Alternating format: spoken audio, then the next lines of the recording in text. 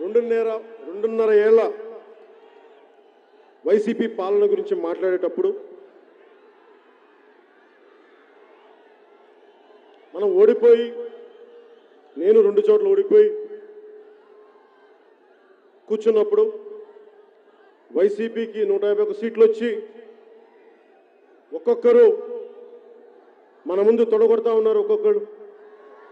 ఓడిపోయి కూర్చున్నాం చూస్తున్నాం.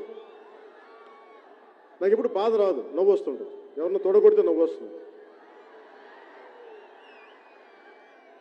సరే ఉత్సాహాన్ని కొట్టుకుని కొట్టుకోనిలే. తొడ కొట్టు కొట్టుకుని కరి ఏమంటుందని కందిపోతే మళ్ళీ తగ్గుతాయి వాళ్ళకే అనిపిస్తుంది. ఇప్పుడు నేను మాట్లాడబోయేది రెండున్నర ఏళ్ళ వైసీపీ పాలనలో మాట్లాడబోయే ముందు ముఖ్యంగా నేను మాట్లాడబోయేది జన సైనికులు జనసేన పార్టీ ప్రజలందరికంటే ప్రజలతో పాటు వైసీపీ నాయకులు వైసీపీ కార్యకర్తలు కూడా కొంచెం శ్రద్ధగా ఆలకించండి. అంటే నేను వినబోయే ముందు నేను సభని ఇంకా స్టార్ట్ చేయలే. మా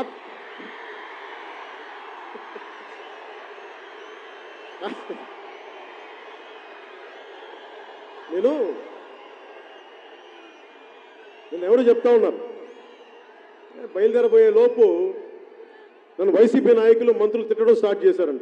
ఏదో అల్లంపల్లో వెల్లుల్లిపాయ ఏదో ఉంటుంది కదా. వెల్లంపల్లి? వెల్లంపల్లి వెల్లుల్లిపాయ బంతి చామంతి పూబంతి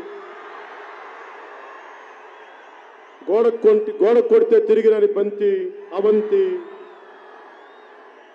వీళ్ళేదో మాట్లాడుతున్నారంటే నేను చెప్పా. ఇంకా మాట్లాడలేదు కదా ఏంటి వాళ్ళు తొందర ఏంటను. సరే. సో బంతి చామంతి వెల్లంపల్లి వెల్లుల్లిపై గురించి మళ్ళీ మాట్లాడుకుందాం. ఇంకా సమయం.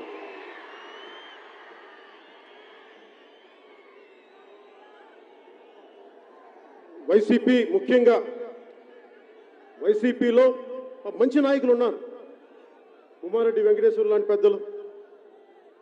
మాగంటి శ్రీనివాసరెడ్డి గారు మేకపాటి కుటుంబీకులు మంచి నాయకులు ఉన్నారు. ఆనం ఆనం రామనారాయణ రెడ్డి గారు.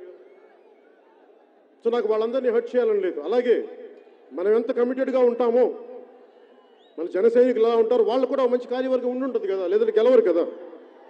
సో నాకు జ- నాకు వైసీపీ కార్యకర్తలను కూడా నాకు హర్ట్ చేయడం ఇష్టం లేదు. నాకు మీరంటే గౌరవం ఉంది.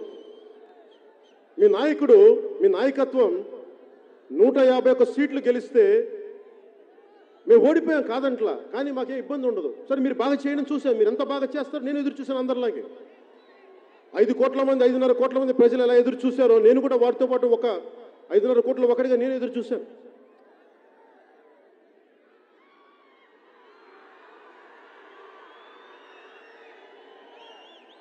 వైసీపీ కార్యకర్తలు కూడా ఆలోచించండి.